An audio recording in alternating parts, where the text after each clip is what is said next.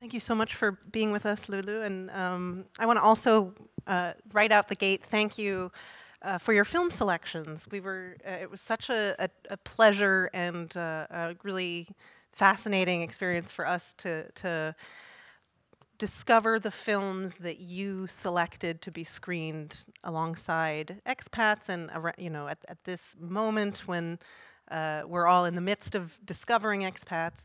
Um, so I, I, hope we can get to that a little bit later in the Q&A, some of, some of your film selections. But in the meantime, let's start with expats.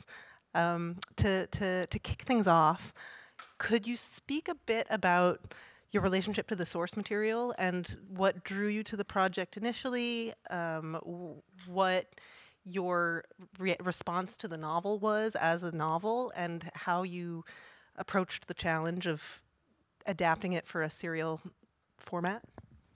Yeah, I just was. I read the novel and um, loved the way that it was non-linear. I love that it was so nuanced and textured, had all these layers, and it felt like it was an exploration of character, um, which is what I love about television as well. Like I love diving into character, and I love when you watch something or you read something and it feels like you're pulling back the layers of an onion as opposed to just being on a train that's headed in a direction.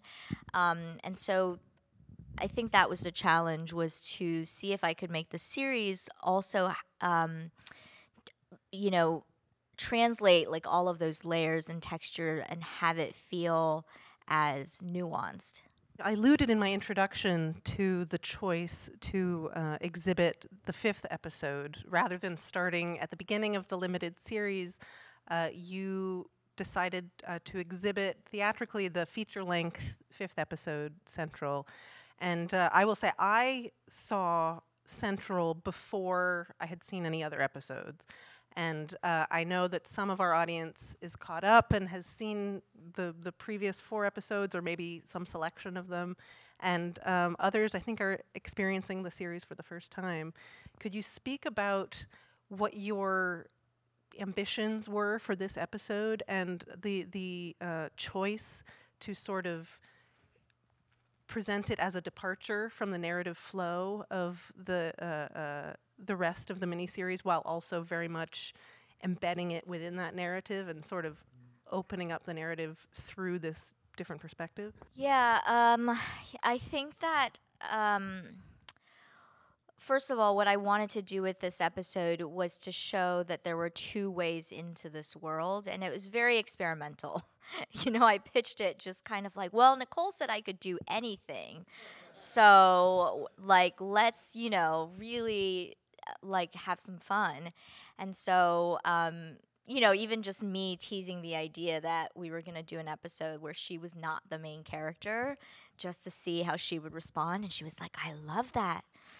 Um, and that was really exciting, you know. Um, and um, telling it to the studio, they were a little bit more trepidatious. Um, but I think that, you know, I wanted to show that um, there were two doors, you know, kind of like if you've seen the rest of the series, you see the main entrance and then you see this other door. And for me, it was really personal because I think um, in my lifetime, like people who met me when I was an immigrant and I was a kid and they knew me in a very different way. And then people who meet me now and, you know, see me in a position um, that's much more privileged. And I spent, you know, most of my time with, you know, privileged Western Hollywood people. And so, and it's sort of like, well, you don't know everything about me. You don't know everything about these characters or people all around us in general. I think we make assumptions about people based on f- impressions that we have, first impressions, or even if you've known people for years, you might not fully know them. And so it was my way of um, kind of just continuing to expand on um, the world and peel back more layers. Like if you look at certain characters through another character's eyes, you're going to see them differently.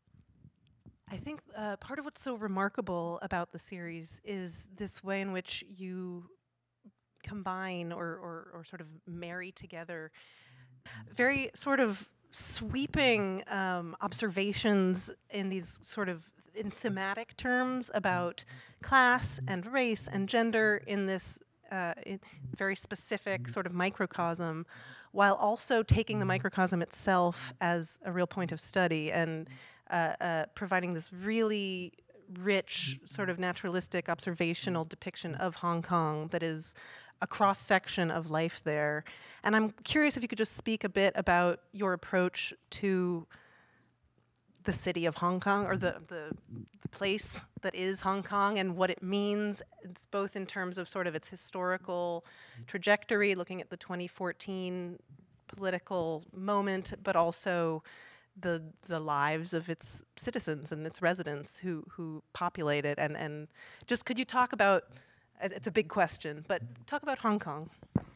Um, well I'm no scholar of Hong Kong but um, I think what I find and I've always found really fascinating about um, the place is um, this the first of all the fact that Hong Kong has never, or for a very long time, not belonged to itself.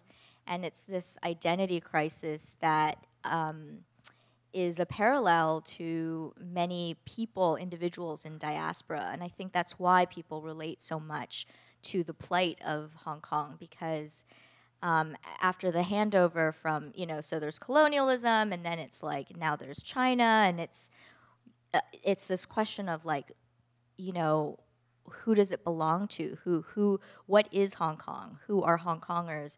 And um, that struggle for identity um, is something that I really related to. And being from Beijing, my, my, family and I left in 1989 during Tiananmen Square, and so there's obviously that parallel as well. And so um, it was just for me about ultimately cap- like it's a, it's a place where there's an intersection of so many different types of people, as you mentioned, like class and race, East and West. And I think that that's interesting to me because it's kind of how I've grown up. Like I've always had this intersection of all these different cultures. But ultimately, ultimately, what I'm trying to say, and particularly at this moment in time, I think in the world, is that there's a lot of tribalism, and so there tends to be a lot of um, moral value, like assigned to like you know, class and race and all of these things. And ultimately, what I wanted to show was that these are all people, these are all humans, regardless of where you're from and, you know, what your privileges are. And of course, we can, you know, um, we can analyze and we can examine privilege and what that affords people and how they might behave and ways in which we're all ignorant, um, particularly people who live in a bubble and are wealthy and are privileged. But at the end of the day, it was important that they also um, deserve some level of empathy because, you know, these are all human beings. And to that point, um, it's kind of remarkable what you've done, I think, in terms of building an ensemble of characters. Um, you know, obviously it's adapted from a novel, and so there's sort of a novelistic approach to to fleshing out this rich ensemble of characters that's also in conversation with uh, uh, the, the very sort of cinematic qualities that you're bringing to the formal presentation of these characters and how you're introducing a character matters and how you're uh, uh what we learn from them and when matters and i wonder if you could just speak about sort of building that ensemble for the cinema in terms of both casting, how you casted, uh, uh, how you cast the, the, the leads and the characters in this episode in particular who come to the fore where they may not have been leads elsewhere in the series. Yeah, um, you know, I think that a lot of times I'll make things because I have a question, um, and then I'm like somehow trying to answer that question. And so for this series, in addition to all the thematic questions that I had, I was also asking like, what is the difference between film and television, right? Like as a filmmaker today, you know, like should I make film? Should I make television? And it's and you know, oh, like okay, if you get theatrical screening, then then it's a film. But a lot of times it's a very short run and then it ends up on the same screens anyways. And so, what is film? What is television? Um, I don't have an answer, but I think that I was trying to. Um, I, I didn't change my process at all in how I made this entire series versus how I made The Farewell, for example. Um, I, you know, my entire collaborators, my you know my cinematographer, my production designer, we worked in exactly the same way on a much more elevated, scaled up level. Um, and so for casting, it was the same. You know, uh, with the farewell and on this, we have both an American um, casting director uh, as well as international. And so we worked with um, a local casting director in Hong Kong who cast also out of Manila to get to find Ruby Ruiz.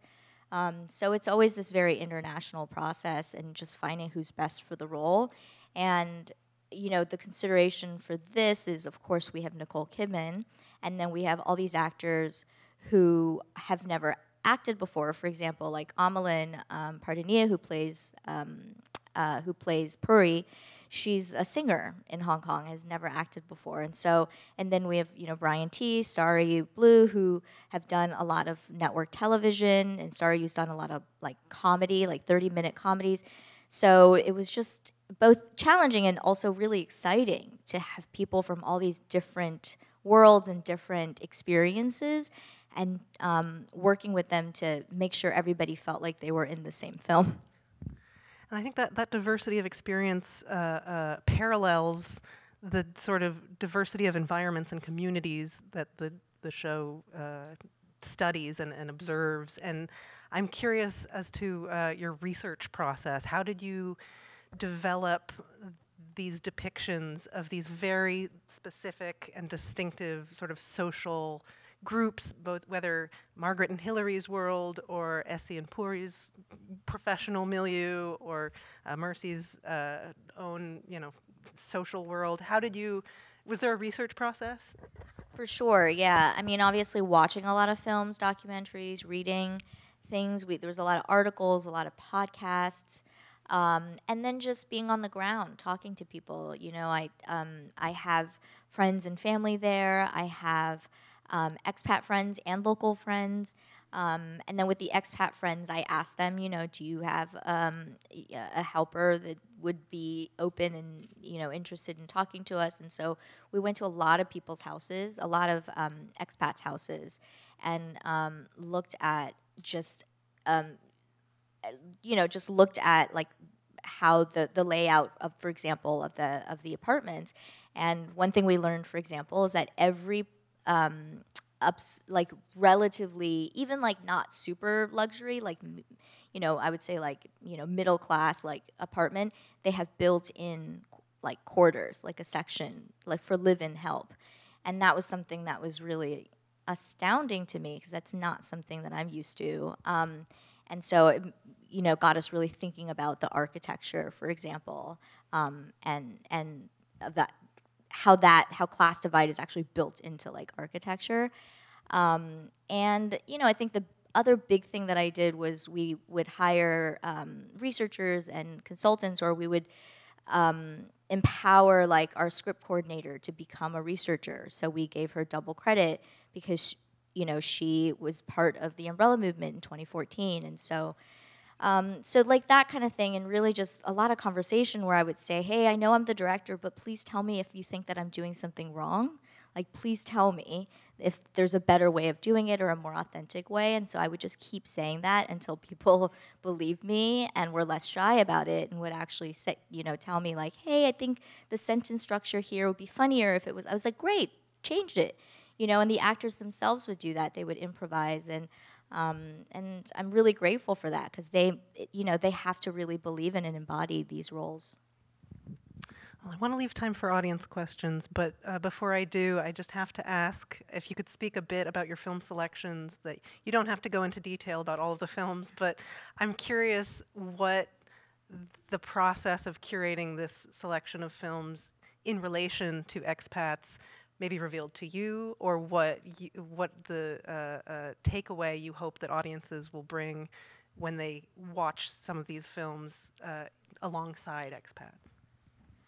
Um, well, in the writers' room is where um, we started finding a lot of these um, films because we were talking about tone as we were writing the scripts, and so um, you know, people had seen, you know, my the writers had seen the farewell, and I was like, well, this tone I think is going to be different. I want there to be mystery and intrigue, and so we looked at Mother by Bong Joon Ho um, as like a kind of what love, that maternal love, can drive you to do, and that is, I think, we looked at a lot of films that were on the borderline that almost felt like genre, or they used genre elements but weren't necessarily genre.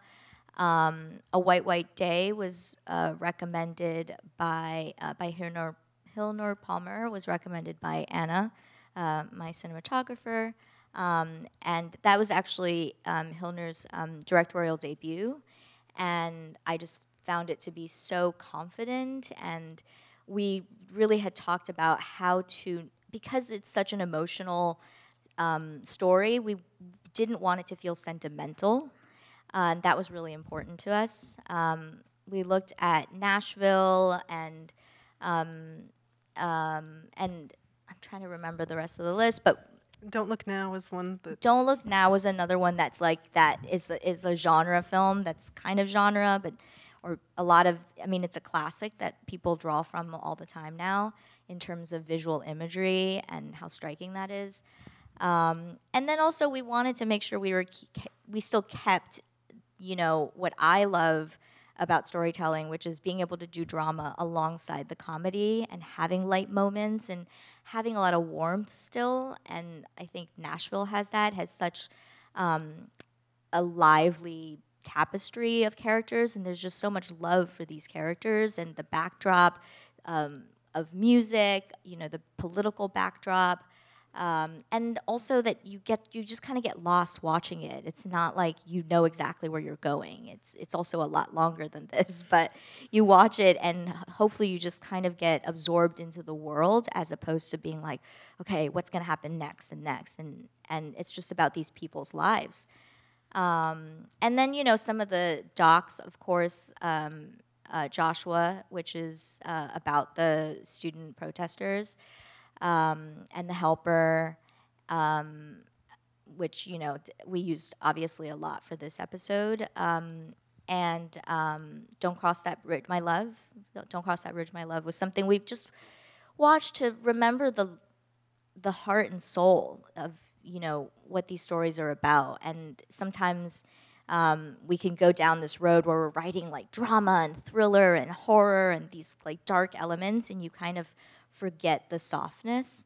And so we just wanted to remember always to have these moments where you remember why for example clarke and margaret they really love each other even though they're in this really terrible thing that there's warmth in these families and in some of these characters well, although the series is ending today, I hope that uh, if your interest is piqued and you're absorbed in expats, uh, you can go to our website and find the list of films that Lulu selected and maybe seek some of them out. Uh, many are, you know, available for home viewing uh, if you know where to look. But um, I want to open it up to the audience now. We have a mic uh, that will be running around, so I see a hand right there already. The mic's coming to you right now. Hi, Lulu. Thank you very much for the presentation today. I wanted to ask, in regards to both Farewell and Expats, you deal a lot with how people engage with grief and grieving. I was wondering, as a writer and as well as a filmmaker, how do we engage with our own personal grief and translate that into what we do as, a, as, a, as an art form? Oh, that's a very deep question. Um, I think I'm still trying to figure that out. But I think it's just all behavior, you know, and on some level, um, whether we like to admit it or not, we all relate to all of these characters in some small way. And I think, um, or you have to at least, you know, and I think that grief is interesting because it can make you be the best version of yourself or it can make you be the worst version of yourself. And, um, in a way like loving these characters and giving them grace to behave the way that they do is also giving grace to yourself and to say oh you know, maybe, well, I don't want to have any spoilers, but the, but some of these characters behave very badly, not just in this episode. And it's like, well, maybe, you know, I've done that too, right? Like I've accidentally been rude to somebody because I, you know, am, am struggling with a loss or grief or something um, that uh, that has overtaken me, and and and then you're really hard on yourself. But it's like, you know, we're all human, so. Um, I think that, that that's the process that it taught all of us, like the writers and I, as we were writing through this. It's like, oh God, yeah, I've, I've done that. It's so embarrassing. All right, let's give that to this character. Thank you for coming here. Um, I just want to ask, one of your responses, you said um, you're like visiting homes that had like accommodations built for like live-in help. Um, it reminded me of an answer you gave, uh, I think at an interview with NPR a few years back about how you started your career make, make filming these like day of day in the life of videos for injury victims, um, for like court cases, mediation, you would like visit people in their homes, get them to open up, and kind of you know produce these short films about them. Um, do you think that process um, sort of influenced how you approached this episode, like either how you shot it or how you did the research for it, or both? Oh, that's interesting. I haven't thought about that, but I'm sure I'm sure it has. You know, um, just like going into, I think both like that job and also just always feeling like you're a guest somewhere. You know, like that's at least my immigrant parents are like, you're a guest in this country, um, so you have to, you know, be a certain way or behave, you know, behave well or whatever. Um, but I think that, um, yeah, that experience definitely taught me a lot about empathy and how to get people to open up and how to disarm them. Because with that job, it was like a lot of lawyers um, and that they were used to dealing with all these like men in suits. And there it, it's hard to like for them to open up and a lot of them um, had never like been in that world before. And so for me and i think that's where you know i'm five foot tall and you know i i am who i am. And so um, I would intentionally lean into that. I would come in and just be like, forget about the lawyers and um, just talk to me, tell me what's going on. And so I do that a lot here too, like even going um, to a lot of the Filipino community and saying, hey, this is the storyline, this is what I'm trying to do, but I want to make sure I'm doing it as accurately as possible. So I want you to take control and take authority of this story. Hi, thank you. Um, my question was mainly in terms of adapting the novel. I'm unfamiliar with the source material, but I was very curious in how, when you were writing the teleplay for the show, especially in this episode, you see these characters as something they're all desperately searching for something. Um, how important was it for you to subtly show love as something they need, but more so through the lens of something as love being transactional? Oh, interesting. Um, how they how it is transactional, or they need it Um, to not be transactional? Or, or more so just how it can come off as transactional, especially for the characters who are mainly the help. You know, Yeah. you talk about class, and to them, it's very, I thought, as something like, oh, they're my friend, they're caring, but you know, you're being warned, they are your boss, and there's Yeah. certain boundaries, and how at the end they ultimately do not care. You're their employee. Yeah, yeah, definitely. Um, that was something that um, we we talked about a lot in developing the script. Was just like whose perspective are you in? Because I fully, fully believe that Margaret thinks that Essie is family, um, and you know you'll keep watching hopefully the next episode, but um, but I think that that's the gray area, right? Is like who has the privilege of thinking the, that you know in that way and who doesn't because there is a power dynamic whether or not these employers like it or not. And it's their own, own way. I think it's also a very western thing of like this is how i'm gonna like calm my own guilt. There's this like western christian um, ideology that they're bringing in of like well we're not bad people right. It's this is just the system, and I heard that so much when I was in Hong Kong. It's like, well, this is normal here. We wouldn't, of course, we would. This is. I know this looks bad in the states, but here, this is this is like actually, this room is so much better. You should see how other people's helpers' rooms are. You know, so there's that like trying to make themselves for, feel more easy about these um, decisions. Hi. Uh, I noticed a uh, big difference in the adaptation here is that there's a lot more time spent on giving uh, the character of David like agency and development. Could you speak on uh, why you chose to do that? Um, well, I think I wanted to make sure we were giving, you know, we were like treating the men fairly. I'm, I'm very much about fairness, um, uh, even though life isn't fair. Um, but you know, we, we wanted to make sure we like all the men weren't just bad, and I think that you know because David is the closest to a villain in this, um, and he makes a lot of bad choices. But I was I wanted to make sure he was still empathetic. Um, I also think that when we started shooting the coffee scene, um, I couldn't stop. And they were like, We've now spent two days shooting this man carrying a coffee machine. And I was like, But it's so funny. It's going to make the whole series. And the producers were like, But this is a show about these women. And he doesn't really have a storyline. It's just him and the coffee machine. I was like, Yes, but it's so good. Um, it says so much also about his character. It does, right? About men sometimes. Sorry. Um, but it's charming, you know? I think we have time for one more. I see a hand right here. If we have the mic, yep. Regarding your rehearsal methods um, with all these actors, especially because they come from different backgrounds and different levels, and also non-actors. Um, yeah, how did you approach the rehearsal, the, the rehearsals usually? Well, we didn't have a lot of time for rehearsals, um, and I and I like having rehearsals. I've yet to get it in my career because it costs you know time and money, and oftentimes you just don't have that as a luxury. Um, but I think that um, I would encourage certain actors to spend time together, like Clarke um, and so um, Nicole and, and, and Brian. I would tell them to spend as much time as they could together, and the kids, so that they really felt like they were bonded. That was important for all of them as well.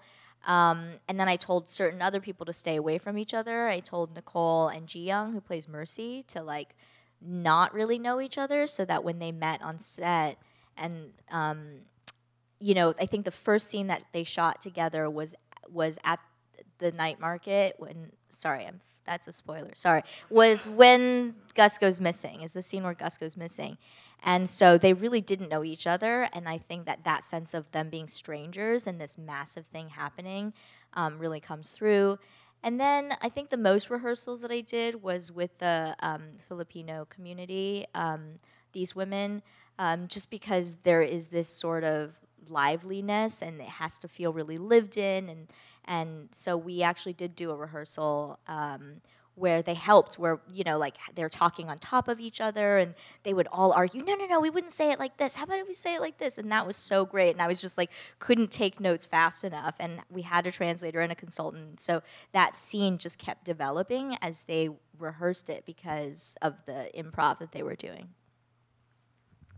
well, I'm sorry to say that's all the time we have, but if you want more Lulu, uh, stick around. We're showing the farewell at 9.15, and Lulu will be back to introduce that screening, so don't go far. Thank you all so much, and thank you very much. Thank you.